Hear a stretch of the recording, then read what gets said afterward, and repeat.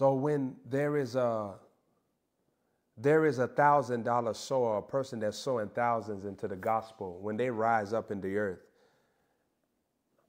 there is a press from the enemy to get that person into a place where they where they're not focused on the Lord. Like there's a strategy to attack that person. The mind of the thousand dollar sower is attacked by legions of demons because you're helping God, you're supporting God. The Lord is able to fulfill his will through you, and the enemy wants to see if there is something going on inside of you that could injure your honor. Are you hearing me? So when somebody is a thousand dollar sower and they're honoring God and they're trusted by the Father in sowing, the enemy wants to take them places that will get them out of that stream. So if you're taking notes, write this down. When you're a bountiful, cheerful giver, you attract satanic attention on your life. But the sowing that you're doing is already built by God to defeat all powers of darkness. So it's not a scary thing that you're going to be opposed by the satanic kingdom because every gate of hell is subject to the seed. Let me show you something. It was the seed that went down to hell and got the keys. Got the keys of death and of hell. So when death and hell is fighting against you, things are coming to disconnect you from God, disconnect you from your provision, disconnect you from your miracles. Those things are all defeated by the seed. Because the seed that defeated the gates of hell was Jesus and now the seed sower, even if you get opposed by death and of hell, the gates of hell, they are subject to the seed. So the seed is superior over unclean spirits.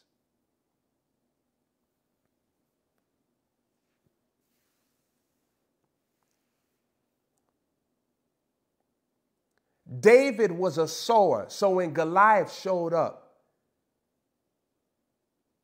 David found what many warriors failed to retrieve. None of them found the strategy to kill Goliath. You notice this, right? All of them lost to Goliath. So, what could you catch?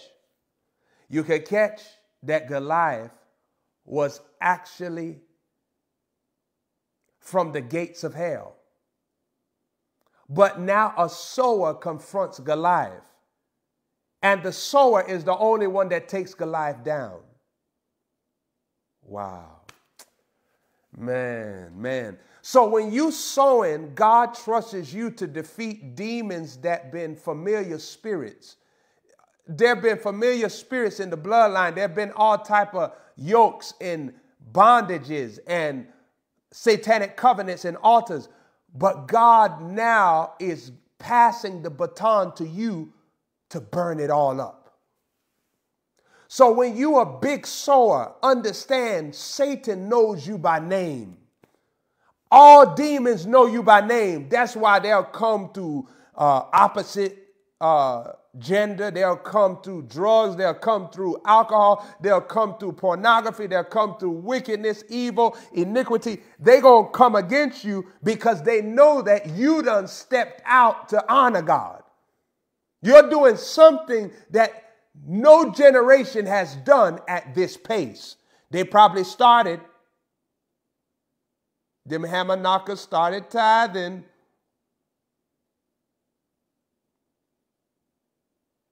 But that's all that's as far as they got. Their sowing ain't bring them nowhere. You know their sowing ain't bring them nowhere because if their sowing had brought them somewhere, you wouldn't have been hassling for money when you came into the earth. They would have had something for you. You you was up there trying to figure out how you gonna make it, how you gonna make money. Ah, da, da, da, da, You was you was tussling and hustling. We're not talking about hustle and and and and flow. We're talking about muscles to sow. Not hustle and flow, muscles to sow. The muscles that you develop in sowing. Satan see that you are iron man. Satan see that you are iron woman. Satan know that you're pumping iron. You know why? Because you got a strong sowing anointing. You got a strong fire on your altar that's burning. Did you know that Satan could see the candlestick of the sower burning bright on their altar? Satan know who is in a place where God is going to make them rich because Satan used to be Lucifer in heaven enjoying the riches of God.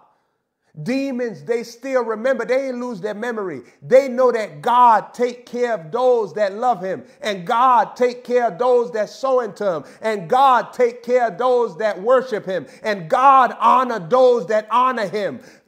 The demons know. Don't let the thief steal the plan of God on your life. You got to sow and keep on sowing after you sold.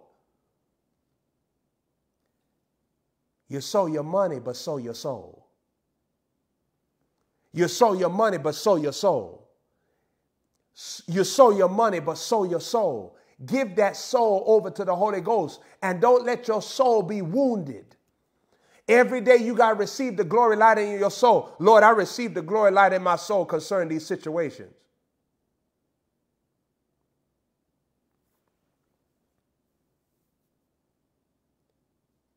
If you don't know how to move with the glory light, you're going to be wounded in this life and you're going to hinder your prosperity because your soul is not in prosperity.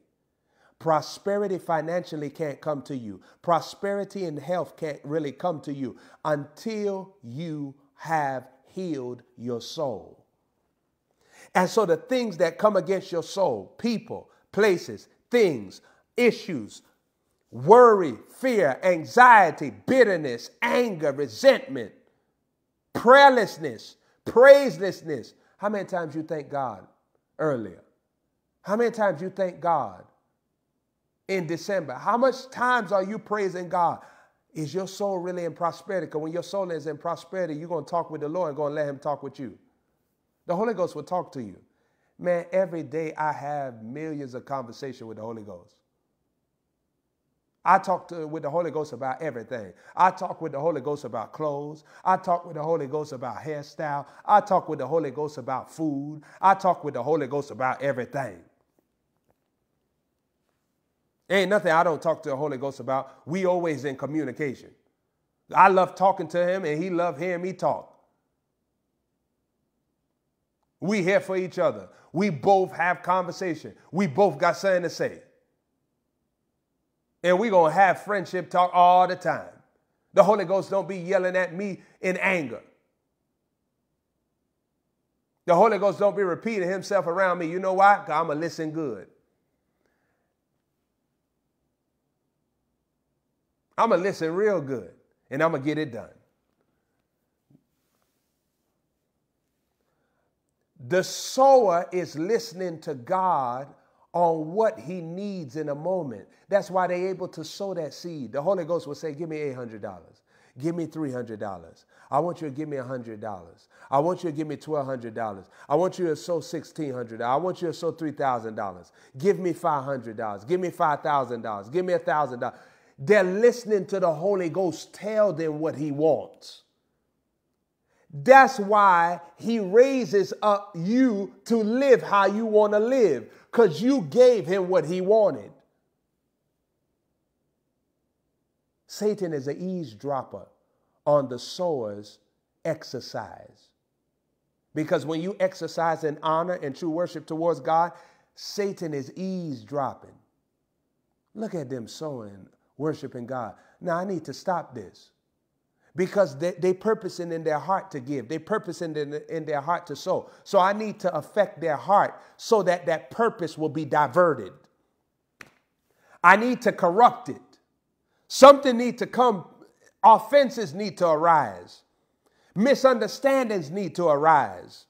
Lust need to arise. Fear needs to arise. Bitterness, wrong decisions, error, the spirit of antichrist need to arise. Because if honor remains like this, God gonna raise them up through honor. He gonna honor them, and they gonna destroy my kingdom operation on earth because there's gonna be finances and provision given to them to fulfill the vision of God through different happenings, through different cities, through different operations, through different organizations, through different strategies and missions. So when you sow in thousands into God, you attract satanic supervision. They watching you. They need to stop the harvest from getting to you. They need to stop money coming from getting to you because your seed releases a new chapter of finances that's beyond your physical job. It's beyond Social Security check. It's beyond food stamps. It's beyond Medicare, Medicaid. It's greater. It's the kingdom of heaven and his benefits.